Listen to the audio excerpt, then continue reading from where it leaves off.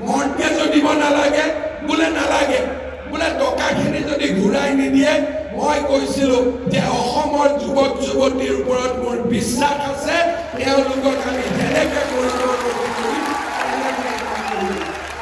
আমি হাৰিয়ানাত বহুত লোক দ্বিতীয়তে দুই লাখ যুৱক যুৱতীক আমি আত্মসংস্থাপনৰ পথ দেখুৱাম আজি আপোনালোকে দেখা পাইছে যে চাওঁতে চাওঁতে এক লাখ নিযুক্তিৰ পৰিৱৰ্তে আজি আমি ইতিমধ্যে এক লাখ চল্লিছ হাজাৰ নিযুক্তি সম্পন্ন কৰিছোঁ আৰু দুই লাখ নিযুক্তিৰ ফালে আজি আমি ধাৱমান হৈছোঁ।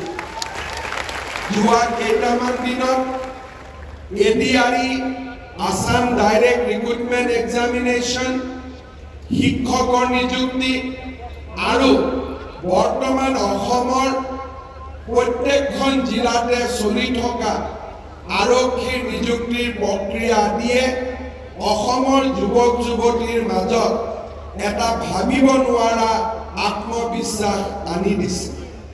আজি অসমত এঘাৰ লাখ যুৱক যুৱতীয়ে একেলগে পৰীক্ষা দিয়ে আৰু প্ৰত্যেকজন যুৱক যুৱতীয়ে এটা কথা অন্তত মনত দৃঢ়ভাৱে প্ৰতিপন্ন কৰি লৈছে যে নিযুক্তি স্বচ্ছ হ'ব আৰু এই নিযুক্তিত কোনেও এটকা নোখোৱাকৈ নিযুক্তি হ'ব। তেনেকুৱা আজি আত্মবিশ্বাস অসমৰ যুৱক যুৱতীৰ মাজত গঢ়ি উঠিছে। আজিৰ পৰা যদি দহ বছৰ আগলৈ অসমত দীৰ্ঘকালীন যেতিয়া কংগ্ৰেছৰ শাসন চলিছিল কোনো ল'ৰাৰ মনত ছোৱালীৰ মনত এই কথা বিশ্বাস নাছিল যে আমি চৰকাৰী চাকৰি টকা নিদিয়াকৈ চৰকাৰী চাকৰি পাম। কোনেও বিশ্বাস কৰিব পৰা নাছিল। আৰু চাওঁতে চাওঁতে সৰু এটা চাকৰিৰ বাবে টকা দিয়া ঘোষ দিয়াৰ পৰিমাণ এক কোটি টকালৈকে বৃদ্ধি পাইছে। কংগ্ৰেছৰ দিনত এ পি এছ চিত এনেকুৱা ব্যক্তিক অধ্যক্ষ কৰি দিয়া হৈছিল যে যাৰ জীৱনত এটাই মাত্ৰ ব্ৰত আছিল যে নিবনুৱা ল'ৰা ছোৱালীৰ পৰা কেনেকে টকা লুণ্ঠন কৰিব পাৰি কেনেকৈ ধন লুণ্ঠন কৰিব পাৰি। আৰু এনেকুৱা এটা পৰিৱেশ আছিল যে অংগনবাদী কৰ্মী আশা কৰ্মী নিযুক্তি দিবৰ বাবেও ধনৰ লেনদেন হৈছিল। আজি আমি সেইখন অসম এটা যুগৰ পৰা আন এটা যুগলৈ পৰিৱৰ্তনৰ বাবে কাম কৰিছোঁ। কংগ্ৰেছৰ দিনত থকা পংকিলতাক আঁতৰাই আজি আমি স্বচ্ছতাৰ এটা নতুন দিগন্তলৈ গতি কৰিছোঁ। কোনোবাই সুধিছে যে আমাক প্ৰশ্ন কাকতখন ঘৰত আনিব দিব লাগে আমি কৈছো ঘৰলৈকে লৈ যাওঁ। কোনোবাই কৈছে যে আমাক অ' এম আৰ চিটখন চাব দিব লাগে আমি কৈছো সেইখনো লৈ যাওঁ। ক'তো কোনোবাই কৈছে যে প্ৰশ্নৰ উত্তৰ কেইটা আপোনালোকে এনচাৰ কিটো ঠিক কৰি বনাইছে নে নাই তাকো আমি চাব খুজিছো। আমি কৈছো সেইটোও চাই লওঁ। স্বচ্ছতাৰ এটা নতুন দিগন্তলৈ আমি গতি কৰিছো। আজি অসমৰ যুৱক যুৱতীৰ মাজত এটা ভাবিব নোৱাৰা আত্মবিশ্বাস আহি পৰিছে। ঋণাত্মক পৰিৱেশবিলাক সলনি হৈছে আৰু লাহে লাহে এটা আন্দোলন বিবৰ্জিত পৰিৱেশত আমাৰ ৰাজ্যখনলৈ স্থায়ী শান্তি আৰু বিকাশৰ ধাৰা উভতি আহিছে। মই তিনি বছৰ আগতে এই খেলপথাৰত যেতিয়া স্বাধীনতা দিৱসৰ পতাকা উত্তোলন কৰিছিলোঁ তেতিয়া মই ৰাইজক এটাই আহ্বান জনাইছিলোঁ যে আমাক এটা আন্দোলন বিবৰ্জিত পৰিৱেশ দিয়ক। আমি অসমত এক নতুন দিগন্তলৈ লৈ যাম।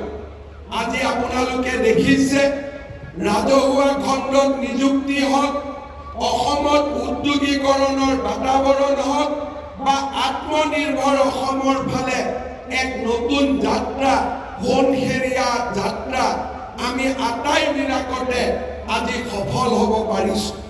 মই নিজেও গম পোৱা নাছিলোঁ যে আমি কিমান সফল হৈছোঁ।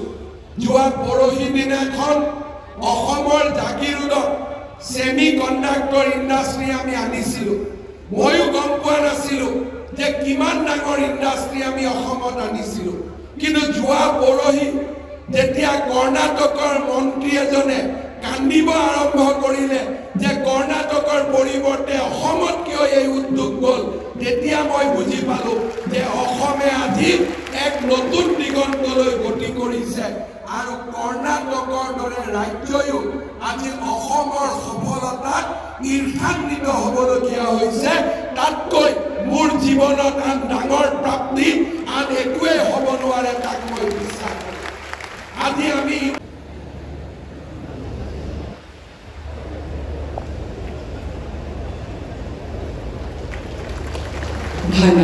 এইবাৰ নলবাৰী জিলাৰ পদ্মা ৰামচিয়াৰীক আগবাঢ়ি আহিবলৈ অনুৰোধ জনাইছোঁ।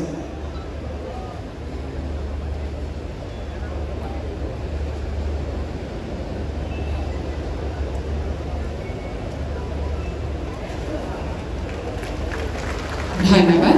এইবাৰ শোণিতপুৰ জিলাৰ বিদিদ্ধ বসুমতাৰীক আগবাঢ়ি আহিবলৈ অনুৰোধ জনাইছোঁ।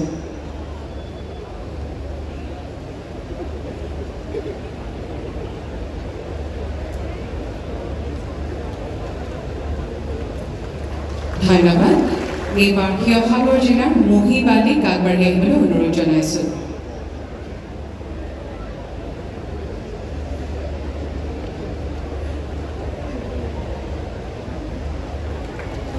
ধন্যবাদ। এইবাৰ বজালী জিলাৰ ৰবেন দাসক আগবাঢ়ি আহিবলৈ অনুৰোধ জনাইছোঁ।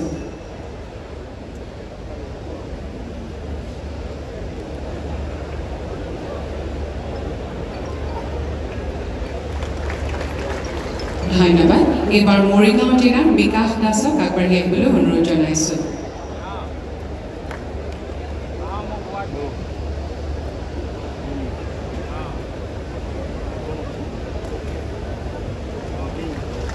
ধন্যবাদ। এইবাৰ নলবাৰী জিলাৰ টিকেন্দ্ৰ মালাকাৰক আগবাঢ়ি আহিবলৈ অনুৰোধ জনাইছোঁ।